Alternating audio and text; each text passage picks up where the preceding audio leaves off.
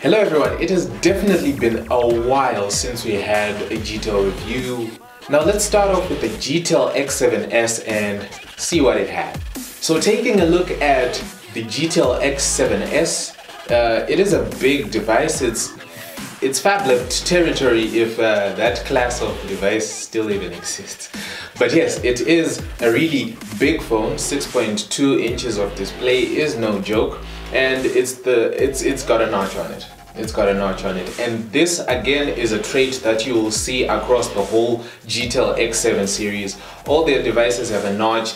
They're trying to push the boundaries to make the display go as close to the edges as possible to provide you a full screen experience.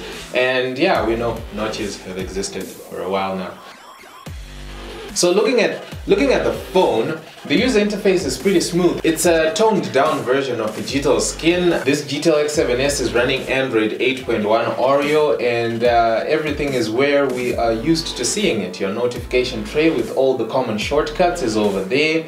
You have your navigation buttons at the bottom there. You can swipe left and right to access more apps. It doesn't come with an app drawer and uh, in the settings there doesn't seem to be a setting to hide all apps in an app drawer. Some people actually, in fact a lot of people actually prefer this approach arranging all your apps on the home screen or just throwing them into folders which is another option you can have if you don't really feel like having all the apps blocking your really nice Aurora wallpaper over there. Looks nice.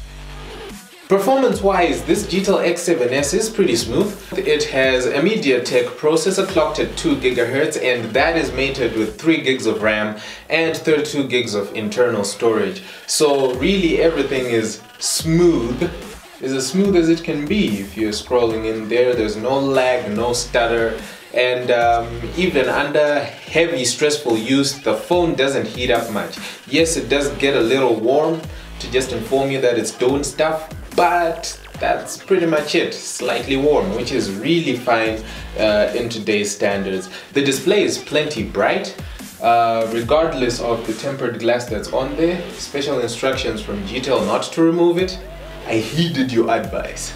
Regardless of they having an extra glass layer on top of the display there, it didn't really ruin any of the color reproduction or sunlight visibility. The display still looks fantastic. And speaking of fantastic displays, this is probably one of the best looking displays that GTEL has put on their phones since the A7150 X4. Mainly because that phone had an AMOLED display and also it was 1080p.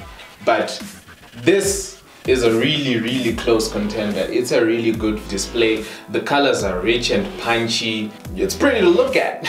So yes, the display does come with a notch and um, some of y'all get triggered by the notch, especially considering that when you open some settings like the settings, whilst the notch is engaged and you decide to scroll in landscape mode, some pieces of text in the settings menu get clipped off with the notch and it kind of gets in the way and it ruins the whole user experience to some. Some don't care. But for those that uh, feel iffy about that setting, there is an option to hide the notch uh, within the settings. Uh, all you just have to do is go to settings and then go to display and go to switch screen display area. So there you can just toggle it on there and once it's toggled on you are able to hide the notch by scrolling from the top left ear of the display. Like so. So as soon as you scroll down uh, the whole user interface shifts down by the width or the height of that notch.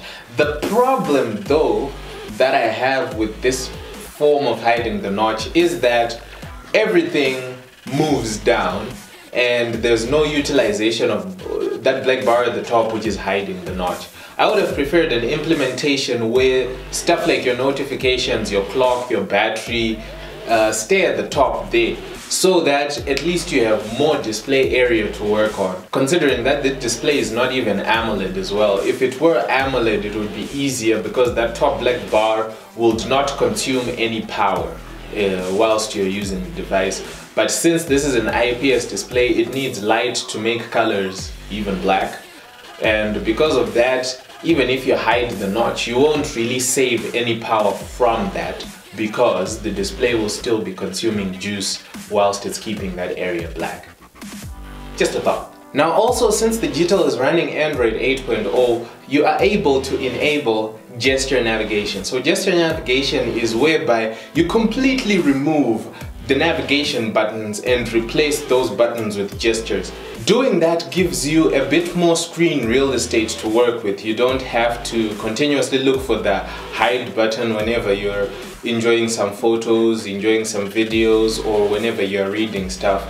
Uh, the navigation buttons are always hidden and you can always perform the same task that the navigation buttons do using gestures. So a simple one would be to go back to your home screen, you would swipe from the bottom center of the display going up. If you want to open the recent apps menu, you just swipe from the bottom right of the display. And then if you want to go back a screen or back a window, then you just swipe from the bottom left of the device. It's basically your buttons turned into little gestures.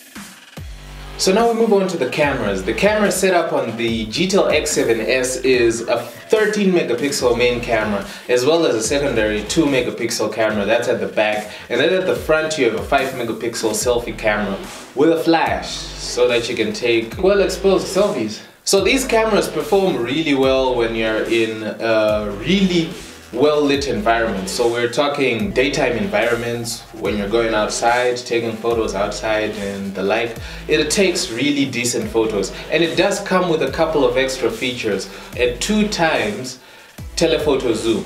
Now I'm not too sure if the telephoto part of this zoom is uh, optical or digital, but it is clear enough to be optical. I mean, you really don't see any digital interpolation in your shot. You don't really see any cropping. The image quality stays the same whether you zoom in or zoom out. It's almost feels like two times lossless zoom. So uh, a thumbs up for that for that feature. Uh, as I mentioned before, it has a really big battery. I was able to last about three days with the battery during testing. During testing, I'm talking taking these photos and videos, playing some games, even running our endurance test on the phone. It really lasted a while, so the setup on the G-Tel X7S is really primed for endurance.